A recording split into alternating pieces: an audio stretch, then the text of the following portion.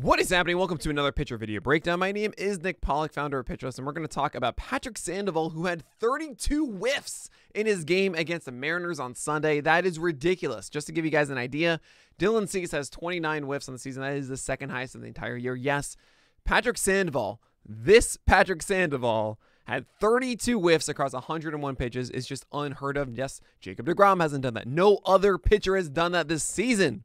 So we're going to talk about him today.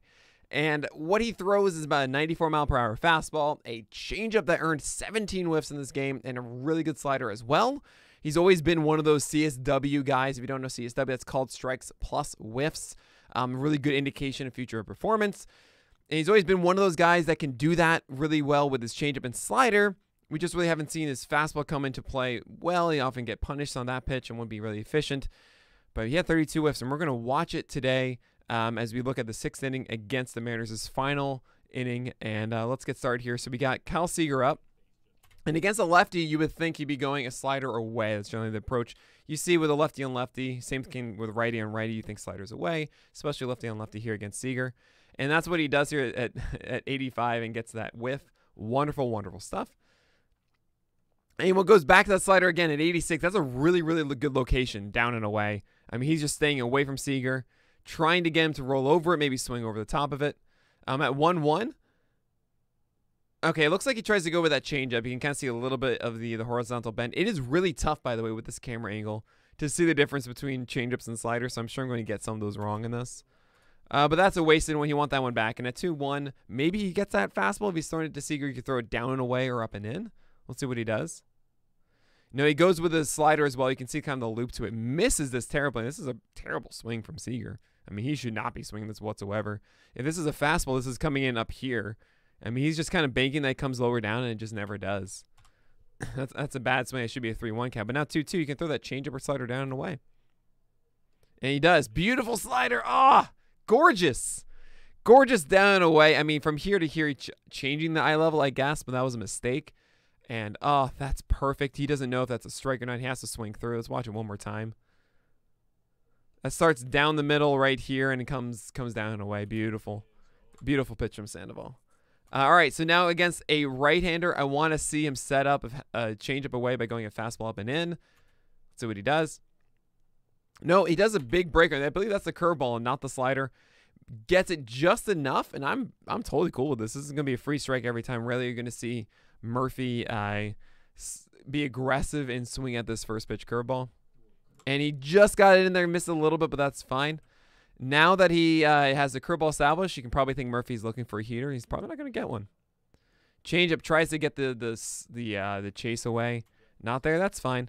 It's been there all game. It's okay. Probably can go back to it a second time at one one, as Murphy may think that he's earned his heater at this point. As he does. Oh, that's a change. This time looks very tasty. This pitch looks like it's coming in up and away falls down off the plate as Murphy again thinks that he's deserved a fastball to seeing two breaking balls and missed with that second one. Nope, not there. So now one, two, you can throw it a third time. Just throw it more over the plate. Just throw it uh, maybe down in middle. Throw it like here or so. You can probably get it. But looks like they might be going for a slider inside or maybe even a fastball up. Ooh, let's see if he pulls this off. Ah, he overthrew it. Oh man, this is actually a really good setup pitch because essentially Murphy's been looking for a fastball the entire time. And uh, throwing that changeup away like this, maybe thinking that he's trying to stay away, and all of a sudden you see a pitch coming inside, you think, oh no, you just threw a changeup away. Of course, it's going to be a fastball, so he's going to be swinging at it, and then it would go into the dead zone. He would get that whiff every single time. Really frustrating to see him bounce it, as we don't really get to test, test our hypothesis. He had him. So let's see, maybe they're going to try it again here at 2 2.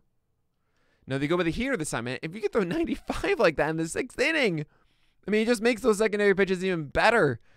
Oh, so exciting. I mean, that's look, that's right down the middle. I mean, a little bit elevated, but pretty much that is as good of a 2 2 pitch you can hope for. But the fact that he's throwing all secondary pitches and around the edges, uh, Murphy just isn't ready for it. Uh, and it's just a good indication of how Murphy is struggling to deal with Sandoval at the time. And if I'm Sandoval, I'm thinking here if he can't hit my 95 down the middle like this, I can get him whatever I want on the edges if I'm able to throw a secondary pitch there. He is so on his back foot. He's so just he can't handle this. So so at 2-2, I'm thinking change up away. All right, 83, it looked like it was a change up and he missed it. Sandoval's a little upset. So here we go. 3-2 pitch. Sandoval has just been running through this entire uh, entire game. One out. Throw the change up. Oh, beautiful. Beautiful. And there's the execution. Oh, look at this.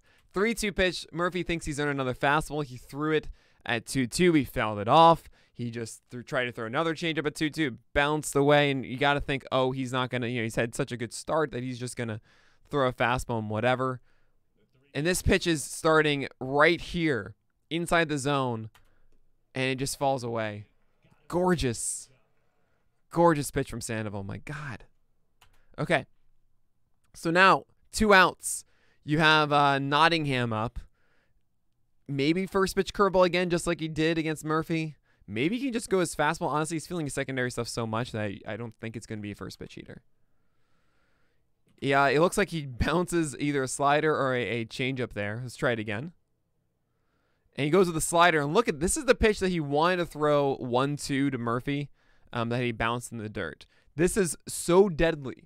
Think of like Madison Bumgarner's cutters or Randy Johnson. Lefties going into righties. This is diving in. Also, think Gerrit Cole with left-handers. The same idea of that uh, down and in angles uh, slider. And with Sandoval, he is a little over the top, but it is a little bit more on from the left side going towards the right, slightly cross body. This is such a deadly offering that Nottingham thinks he has a fastball he can drive to left field, get the barrel down, and it just keeps falling underneath the bat. That's gorgeous. So 1 1. Now you can. Oh, I love this. They're going high heat now. So essentially, the previous pitch, you had a, uh, a, a, slider that started here and going down. And now you're playing with the idea that if you think it's a fastball on the inside edge, it could be that slider that's coming off of the plate. So you can freeze them here. If you hit the spot, it's either going to be called strike, a foul ball, or a a or a whiff here. Like this is a free strike if you're able to hit that fastball. Oh, and he just missed it. Just missed. I mean, you could maybe say that's a strike. Oh, it's. I mean, Nottingham took this thinking like, no, no there's no way it's gonna come back in the zone. Like, oh, oh man, so close. Try and hit it again. Looks like couldn't do it. I mean, these are just missing. I mean, these are debatable strikes. You know. But he is failing a little bit away uh, with his fastball. Actually, we saw in the previous at bat too, the the one that was supposed to be inside missed here. Um, something to note with Sandoval there. I mean, he's never been a premier fastball command guy. Uh, Patrick Sandoval. It's always really been on the back of that changeup and slider. You can actually see the volatility in the start of inefficiency. Of he bounces some, but then when he when he executes them, they are just so so good. Uh, so three one. Oh my God, Nottingham! What are you doing? I mean, maybe it's just that's such a, a good indication of the filth that Sandoval has here, but that's ball for it. Sandoval got away with that one there. I mean, that's why it's Nottingham. You don't even know who Jacob Nottingham is, likely. That there's a reason why. Oh, you can't swing at that, man. You can't. You can't do that. All right, so now, so now it looks like at three-two, they're trying to do the fastball that they missed twice with inside the set bat. And yeah, if he does execute that in the way that he's messing up down and away and looking there, this should work. Okay, so that's actually again a miss over the plate. I uh, and because he's throwing that off speed pitches a lot, I mean, it, it, did indicate that he is looking for a fastball. And he did put a good barrel on it. Um, good catch there, but this needs to be inside.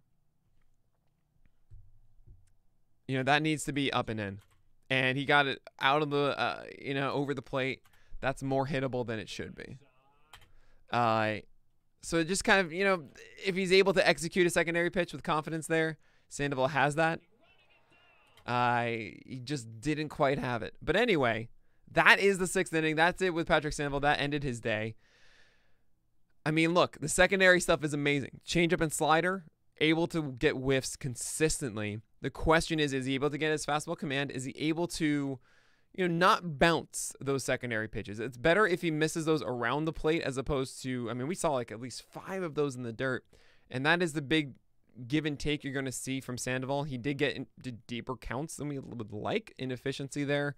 uh, from Sandoval that prevents him from being that legitimate ace, but you can see the upside here. If Sandoval is able to get any sort of consistency, we are going to see more 10 strikeout performances. We might not see 32 whiffs again, but we could be seeing double digit to 20 whiffs in other starts this season. I'm excited about it. Hopefully, he can take what he did with this one and build upon it, have fewer waste pitches, and really, really lean on the confidence of these pitches. But it's exciting stuff from Patrick Sandoval, who I call the Irish Panda.